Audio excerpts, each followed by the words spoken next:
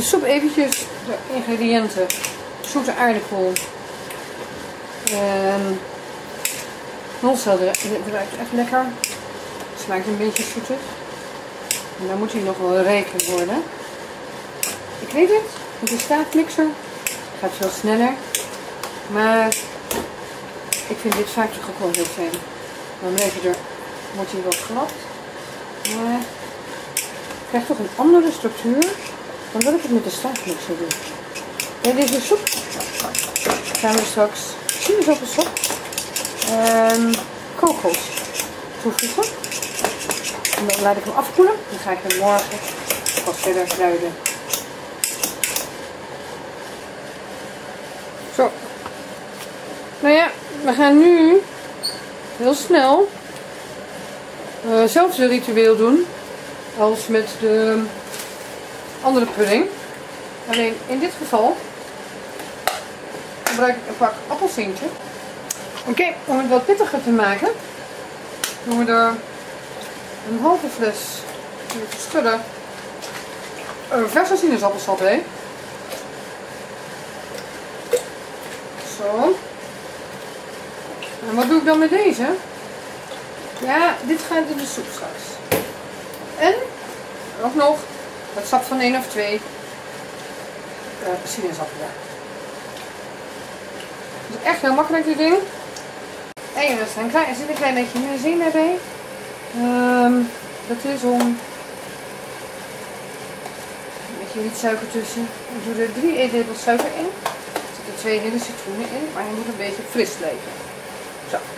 Nou ja, fris gaat suiker later. Gaan we, oh, oh, het is wel behoorlijk warm. Zo warm hoeft het helemaal niet te zijn. Dit zijn de eieren. En een klein beetje maizena, omdat ik, ik heb net wat weinig uh, gelatine. Dus we gaan eerst even door doen. Want dit moet wel even een beetje verdikken. Zo. Yes. En dat doet het ook.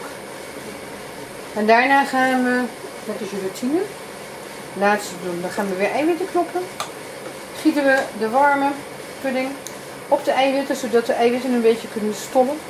En we ook geen risico hebben op salmonella. Er zitten twee citroenen in. Ik heb eigenlijk nog niet geproefd. Moet ik wel doen. Want misschien is het nog wel niet zoet genoeg. Nou, hij is wel heel fris. En dan in aanmerking genomen dat er um, de gelatine ervoor zorgt dat het eh, minder, de suiker wat minder uh, zoet is.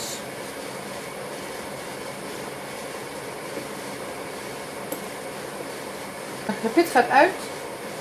Zo. Heel even. Het is dan een klein beetje lobbig aan het worden. Een keer proeven. Nou, nu is hij wel goed. Zo. Ruim een liter. En zo. En dan is vanavond eigenlijk het enige wat ik nog ga doen. Het aanbraden van het wild. Van de wee. Als voorafjes. Twee stukjes wild. Een beetje wildere goed. En een beetje haas. Maar de haas doe pas morgen. Het is echt wel goed genoeg om die morgen te doen. Oppassen dat de gelatine niet te heet wordt. Ik ga het maar eerst oplossen. Dan gaan we eerst nog even de gelatine afmaken. En de soep maken we morgen af. Al was het maar omdat ik de blik ook nog niet kon vinden. En ik denk dat we dat wel morgen kunnen doen. Dus hier doen we hetzelfde. Ik laat hem goed warm worden. Ik laat hem iets bekoelen. Dan doe ik de gelatine erin. Dan ga ik het eiwit kloppen klop eerst het eiwit, dan de gelatine erin. Want ik wil het niet zo warm hebben. En hoe warm ik het maak. Zo.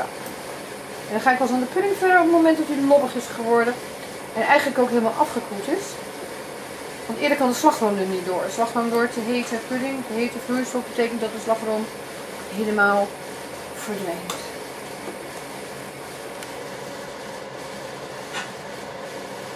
Even een grote pudding pakken. En dan ehm, gaan we ook deze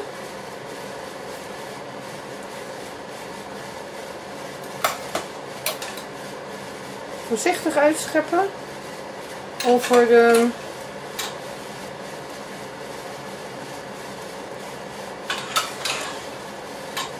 geklopte eigenen.